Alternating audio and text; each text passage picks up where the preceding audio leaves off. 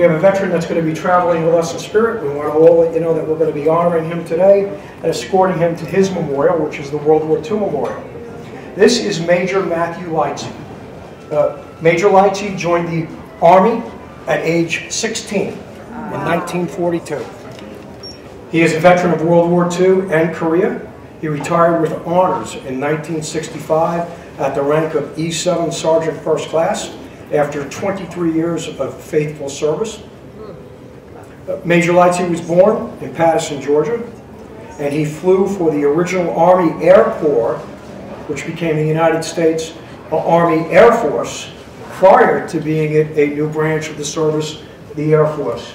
So uh, we, we want to recognize uh, uh, uh, Major Lightsey, let you all know that he's traveling with us today in spirit. He's part of the honor and of, the, one of our guests today. And he also happens to be the granddad of our guest photographer today, Danny Morrison. Mark, uh, I'm your captain here today. Jim's up front with me. I was uh, 22 years Air Force. Uh, 21 in the Navy. Uh, welcome aboard to uh, all the veterans especially, thank you for your service.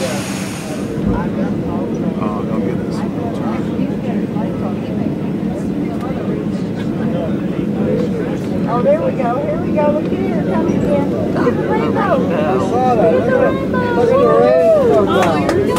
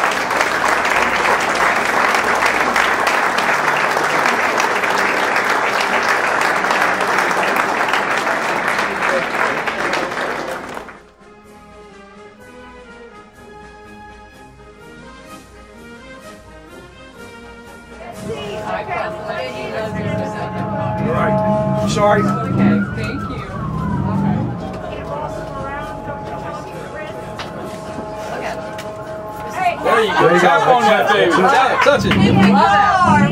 Love it. Love it. Yep. So the reason for On the the vehicle. phone. There we go. On the Oh! Oh, you better get out of Officer Murphy advised me, that's our front Give her a check. Give her a Yes. So on our trip today, just remember, we got three veterans of World War II. There you go. Our oldest veteran is 99 years old. I want my picture with her. We have seven veterans that served in Korea. Some of you in multiple uh, in, in multiple wars. So Korea, uh, Cold War, and or Vietnam, and uh, 14 veterans that, that served in Cold War and uh, Vietnam uh, era. You've served in the Army, the Navy, the Air Force, Marines, The only thing we don't have today is we have nobody with us from the Coast Guard today. So, uh,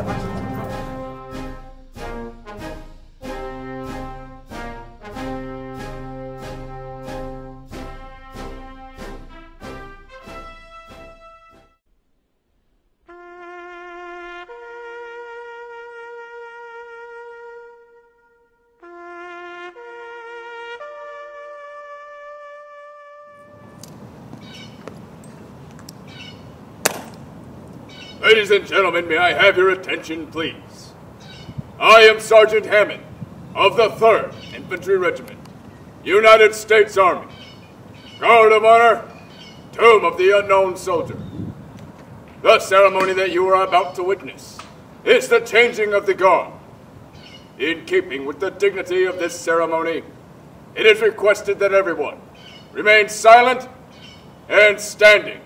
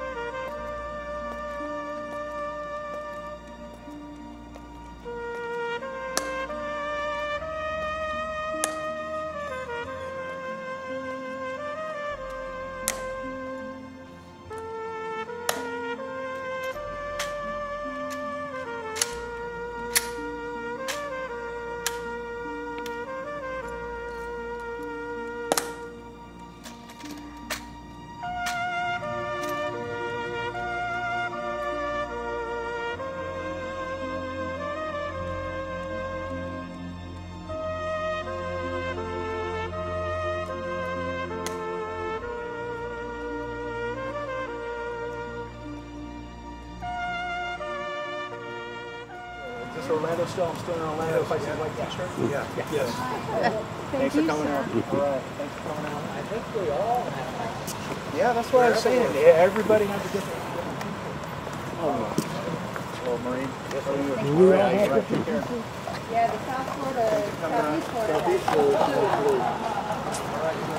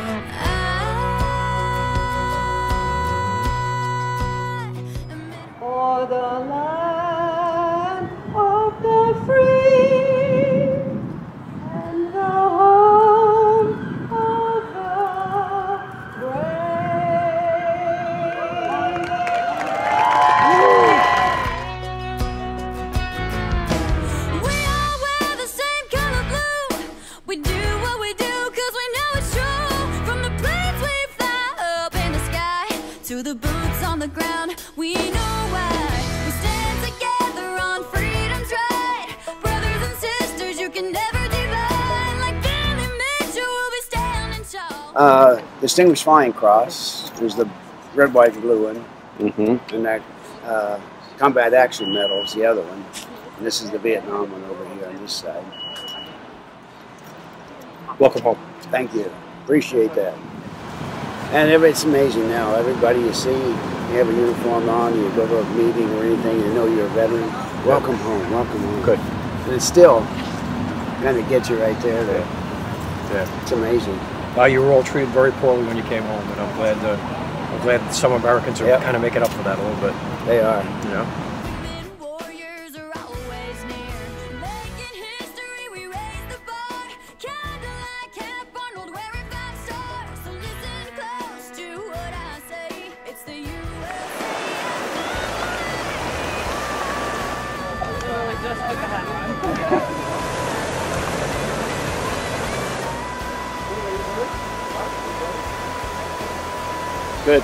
Thank you.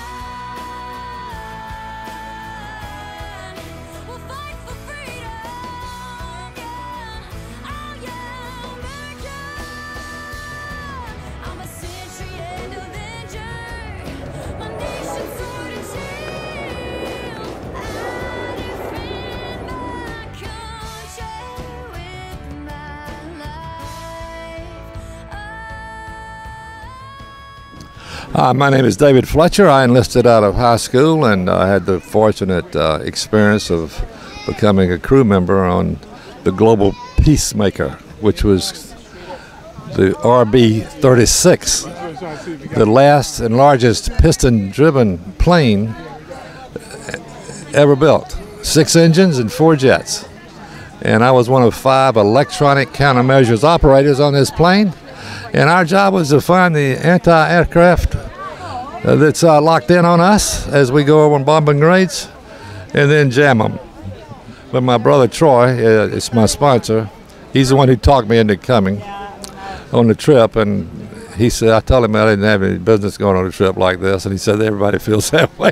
so, so I agreed to come, and I'm so glad I did. This has been wonderful. Everybody here is just, I mean, the staff and everything that happens here is just right and there's a sensitivity here that's so needed for, for guys like others that have seen a lot worse than I have that are in this room right now watching this. They've needed a trip like this just like we have. My name is Carl Galasso, and um, I was in the Marines and the Navy.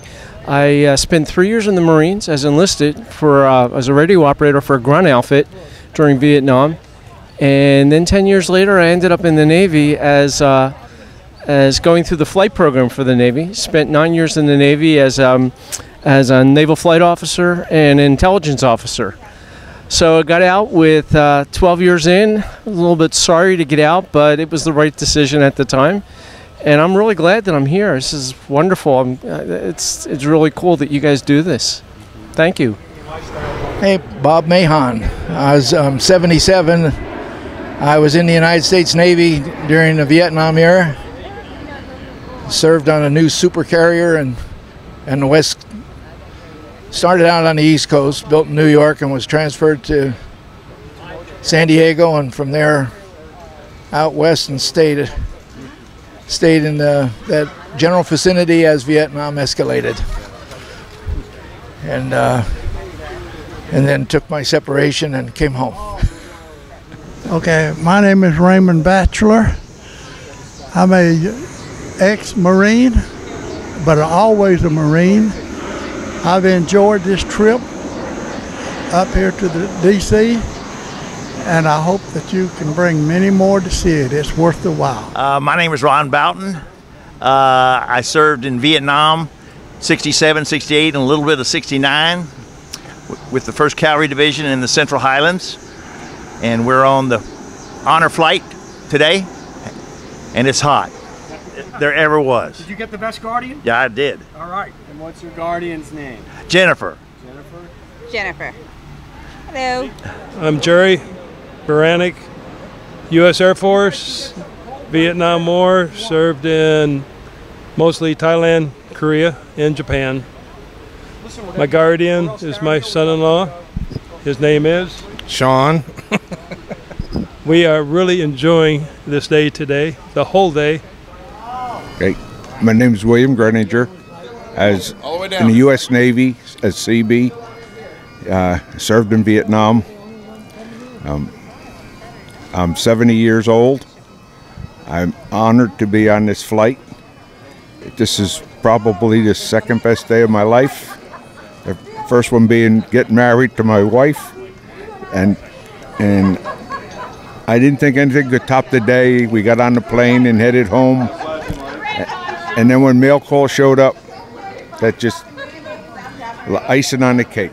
I'm Jerry Rozecki. I served in Vietnam.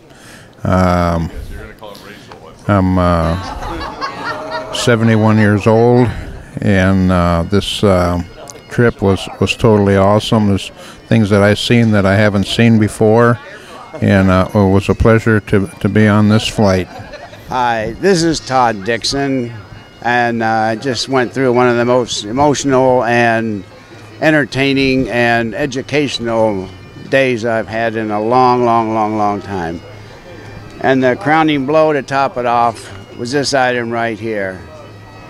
It brought home all the emotions of family members and members we have not even met. Uh, again, a wonderful, fantastic day. I was in the Air Force. I was a fighter pilot for 24 years. Oh, it's just some trivia I picked up along the way. Distinguished Flying Cross, Combat Medal, Combat Action Medal, and Vietnam Medal. Thank you.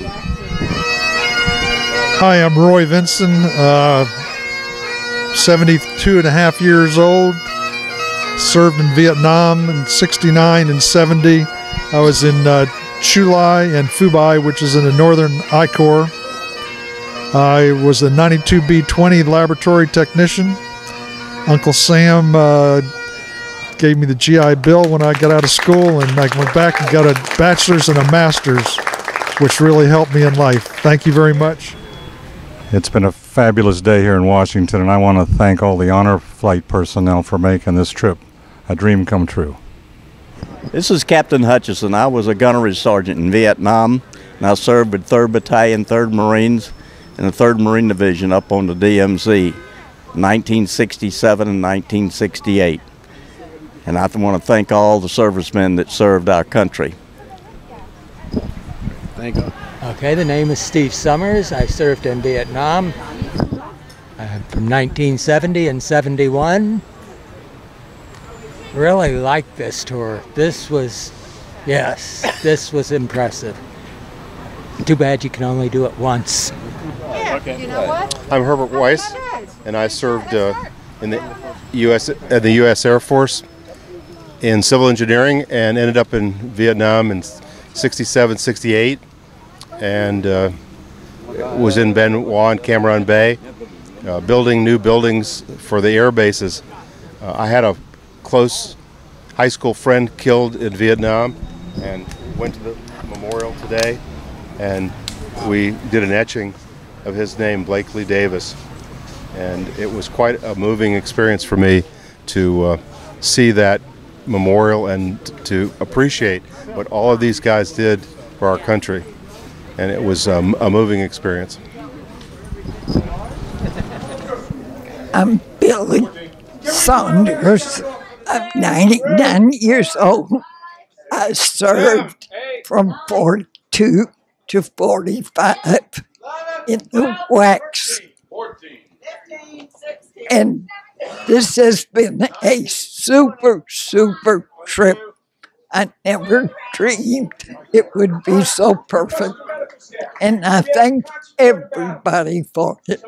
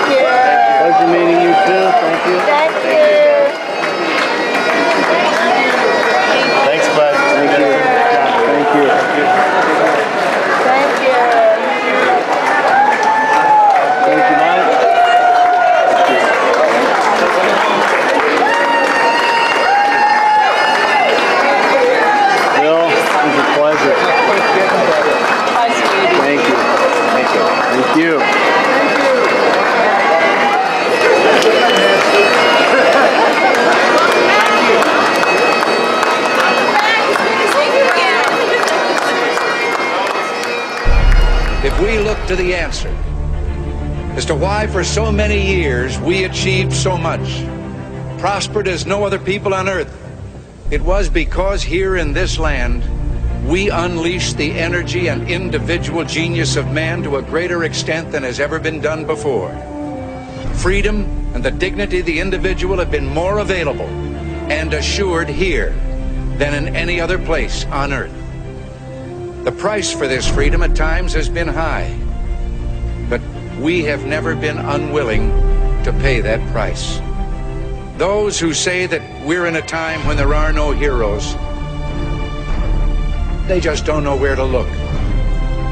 The sloping hills of Arlington National Cemetery, with its row upon row of simple white markers bearing crosses or stars of David, they add up to only a tiny fraction of the price that has been paid for our freedom.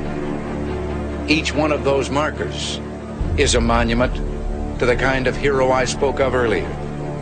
Their lives ended in places called Belleau Wood, the Argonne, Omaha Beach, Salerno, and halfway around the world on Guadalcanal, Tarawa, Pork Chop Hill, the Chosin Reservoir, and in a hundred rice paddies and jungles of a place called Vietnam. We must realize that no arsenal or no weapon in the arsenals of the world is so formidable as the will and moral courage of free men and women. It is a weapon our adversaries in today's world do not have. It is a weapon that we as Americans do have. Let that be understood by those who practice terrorism and prey upon their neighbors. As for the enemies of freedom, those who are potential adversaries, they will be reminded that peace is the highest aspiration of the American people. We will negotiate for it, sacrifice for it. We will not surrender for it now or ever. We are Americans.